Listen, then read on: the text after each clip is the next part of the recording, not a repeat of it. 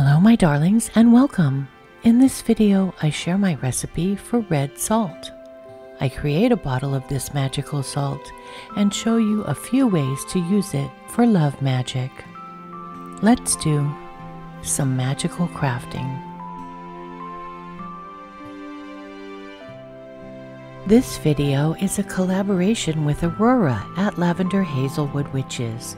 She has also created a video for you about using roses in love magic, and I encourage you to drop by her channel and check out her video after this one.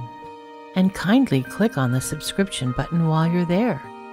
Her videos are soulful and authentic and very much worth checking out. I'll put a link to her love magic video below and in the card at the end of this video. In my urban witchcraft video, I shared some thoughts about city foraging and picked up some roses and hibiscus flowers for future magical workings. I've decided to use those ingredients to create witch's red salt and do some love magic. This salt recipe is very different from a red salt recipe for protection and has completely different ingredients and uses. The first ingredient I'm including is rose hips. Used in spells for love, peace, and attraction, this herb brings harmony and friendship. It's also great for stress reduction and bringing kindness. Next, I'm adding hibiscus flower. This flower is commonly used in love and beauty spells and is associated with marriage, passion, and lust. The hibiscus flower is sacred to both Ganesha and Kali. If you do not have hibiscus flowers available where you live, you can omit them from your salt entirely, or you can obtain them by purchasing hibiscus tea. The same is true for rose hips. I'm using a food grade hibiscus in my red salt today as I'm not sure what kind of pesticides were used on the flowers I foraged from the park. I usually do not worry about pesticides or pollution on foraged items for spell work, such as spell jars or grigri bags, or for making incense, potpourri, or simmering pots. I use food grade herbs when I'm adding them into a preparation for topical use or to be ingested. Next, I'm adding roses, the classic red rose associated with love. This flower attracts new love and enhances beauty and desire. It's used in magical workings to mend disagreements between friends and lovers.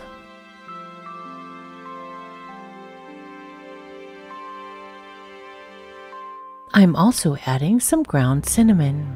Cinnamon is one of my favorite spices for witchcraft as it corresponds to so many good things.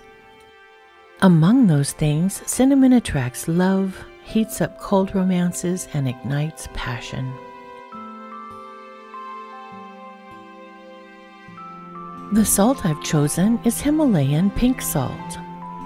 Pink salt or pink halite is useful for self love workings and promotes making decisions from the heart. If you don't have pink salt on hand, you can use regular sea salt and add red food coloring to achieve the pink or red color that you desire, or just allow the other ingredients to provide the red coloration. I've created a Book of Shadows page for this red salt recipe if you'd like to download a PDF of any and all of my grimoire pages, you can visit Magical Crafting on Patreon at the link below the video. My patrons can download recipes, Book of Shadows pages, artwork, and more, all provided as PDFs. And I continue to add new downloadable content as I do more projects on the channel. Some red salt recipes suggest adding cayenne or red pepper flakes. However, I would caution against adding them to a love drawing salt. In my opinion, they would work against the rose petals. While red pepper can stir up a lot of passion and emotion, it can also encourage drama and arguments among lovers and friends as well. As you grind the spices, herbs, and flowers into the salt, infuse it with your intention. If your traditions call for it, you may wish to bless your salt, chant or speak words while creating it, invoke a deity, or pray over it. My intention with this salt was very general to draw love and affection in, because I know I'll use the salt in several different workings and rituals. However, you can be much more specific with your intention if you would like. One way to use red salt is to sprinkle it around your bed to add passion to an existing relationship. One way I intend to use my red salt is in a ritual bath for self love. I'm adding rosebuds and dark pink rose petals to an organza bag, and then filling it with my red salt. Submerge the entire bag of salts in a tub full of warm water. The bag will ensure that the drain does not get clogged with petals and flowers while allowing the salt to dissolve and the herbs to infuse the hot water.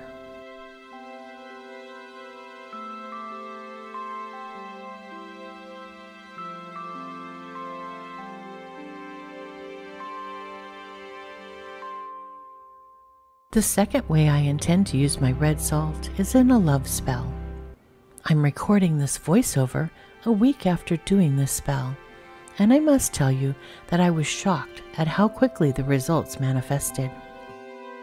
I wrote my intention on a petition paper and placed it under a fire safe dish. The intention I wrote at the beginning of the petition began to manifest less than 30 minutes after I completed this working.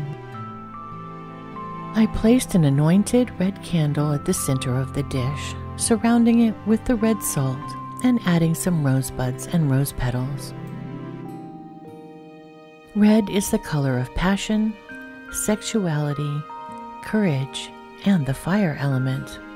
I use red candles to channel the energy of fire when doing spell work for love, romance, or friendship, or when working on a new creative project.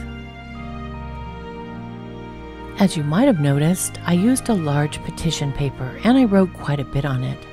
The second and more complex portion of my intention began manifesting within the next two days and is continuing to do so very rapidly.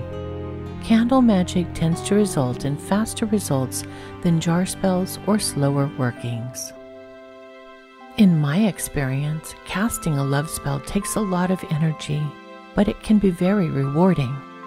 They can be an empowering way to bring the love that you want and need in your life, whether it's self love or to help draw the energies of two willing spirits together. This red salt can be used for all types of love magic self love, romantic love, and for relationships with family and friends.